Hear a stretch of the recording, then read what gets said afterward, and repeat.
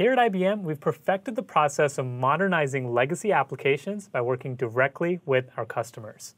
Now, we picked up some tips and tricks along the way, and we wanted to share that with you with the exact approach we take with the IBM Garage. Now, today, we're going to talk about what's called the IBM Garage methodology, which we use with our clients to ensure that they're using the latest and greatest cloud technology and accelerating their digital transformation. Now, within any organization, there's going to be some of the latest and greatest tools that are being used, as well as processes.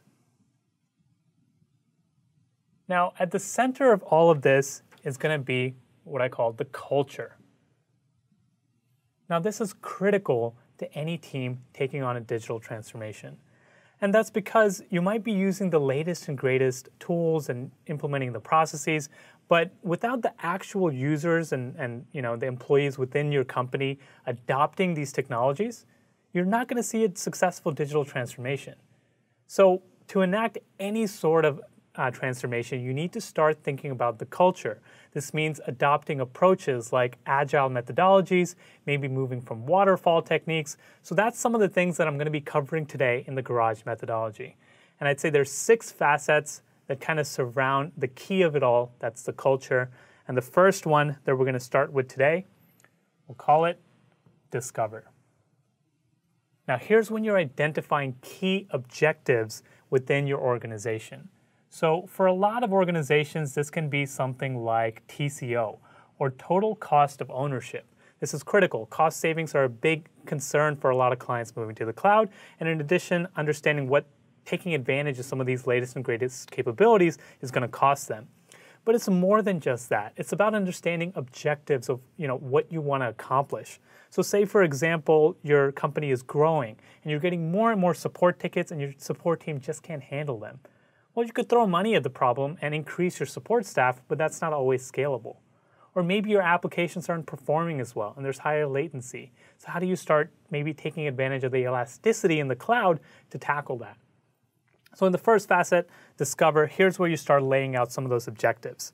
Next up, let's talk about envision. Now here's where you start identifying solutions to some of these problems. Now there's key techniques for this. So for example, you might want to create an MVP or a minimum viable product. This allows your team to work towards an easy, you know, cupcake sized solution that drives value and results and then start building on top of that. In addition, there's a concept called design thinking. And we do this a lot here at IBM. Before we start developing any feature or even a bigger solution or capability, we make sure that we understand how users are going to use it and that design is involved in every step of the way.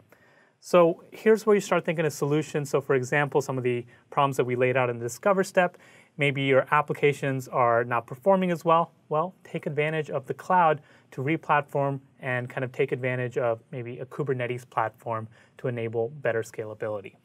In addition, maybe for that support ticket issue, take advantage of a chatbot so that uh, easy questions are answered by an automated system before escalating to a real human being that can support an issue. So that's the second facet envision. Now, the third one I want to mention here, um, kind of going through the flow here, is going to be develop.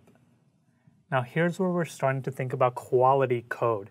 Now, say you've got a number of uh, legacy applications that you've got, and you're bringing them into this next decade a developer that you hire five years down the line, are you really going to feel comfortable with them diving in and kind of making changes to this older code? Well, if not, now's the time to start thinking about clearing up some of that technical debt. You can start taking advantage of refactoring strategies to maybe move from older school programming languages to newer ones. Maybe use container based technologies. So that's one clear thing. Another one I want to mention a lot of us have heard of TDD, which is test-driven development, basically writing the tests before writing the code so the code matches the functionality expected.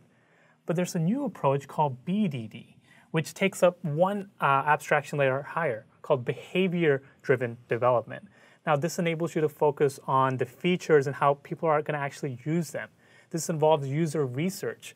And so this is a key step that's going to enable you to focus on uh, first the behavior of using the capabilities and then actually dive in deeper and, and start thinking about how they're implemented, maybe then writing the test cases, and then finally the code.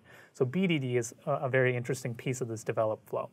And one more I'll mention is CI and CD continuous integration, continuous delivery. This enables development teams to really keep up with the speed of agile methodologies. And so I think it's a critical part with any you know DevOps cycle and life uh, and flow. It, it's really important for your teams to start thinking about continuous integration and continuous delivery.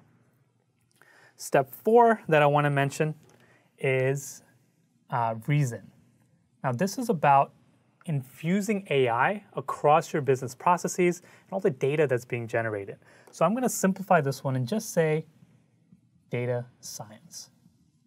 Now, the main thing here is that kind of encompasses AI and machine learning as well. So, for example, say you're a logistics company, this is where you can start taking advantage of something like demand forecasting. So instead of waiting for the demand to come in and then scrambling to prep your distribution centers, what if you use the historical data of the last time there was a lot of demand and then use maybe the weather channel APIs for you know, inclement weather situations and then use that to find correlations to you know, respond to demand and forecast it before it even comes in. Now that's a great way to take advantage of data science uh, and infusing that into your processes to drive new value. Um, next up, we've got operate. Now, operate is a key phase here. We're, we're going to be thinking about things like operational excellence. There's new modern strategies for operations. So things like a dark launch. A dark launch is going to enable you to release a feature behind a feature flag and see how people respond to it, see how your infrastructure responds to it. If it doesn't do so well, turn that feature flag off, figure out what went wrong. That leads me into A-B testing. Now, A-B testing enables you to release two kind of variations of a similar capability to different subsets of users to see which ones they react to more positively. So this is a great way of identifying you know, which approach to take moving forward. So A-B testing is a really critical part of the operational steps. And I think the last one I want to mention here, and it's one of the uh, objectives that we laid out in the beginning, it's uh, auto-scaling. So we mentioned that you know, maybe you need to take advantage of the elasticity in the cloud.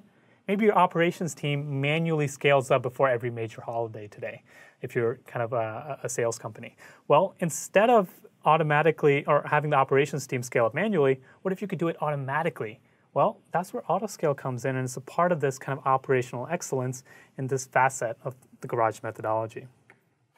Now, the last one that I want to mention here is learn, because at the end of the day, you need to be able to learn from the, the processes that you've put in. Now, a simple one here is something like a retrospective. And this is part of an agile flow. Your team is implementing a lot of processes, so let's see, you know, what worked well and what didn't. It's a time to take, take that into account. Another one that I want to mention, kind of going on TDD and BDD, is HDD, which is hypothesis-driven development. So we're all aware of requirements that come in from customers, respond to them, and if they go well, uh, you know, everyone's happy, but sometimes that's too slow. What if you could create conjectures instead, capabilities that your customer might want to use, and then develop those? Well, maybe you won't always be right, but when you are right, that enables you to get ahead of the competition and drive value to your users in new ways. So HDD is one of the key things in the learn step. Now, if I wanted to summarize all of these, I think I would call them into three major steps. Create, execute, and finally, operate. Now I see these as kind of a cycle, a life cycle for digital transformation. And so with these three steps, you can kind of feel like you're on the right step using some of these technology or approaches that we've talked about. But with IBM Garage, you're not alone. You can co-create, you can co-execute, and you can co-operate. Essentially, it's the speed of a startup at the scale of an enterprise. That's what IBM Garage offers you.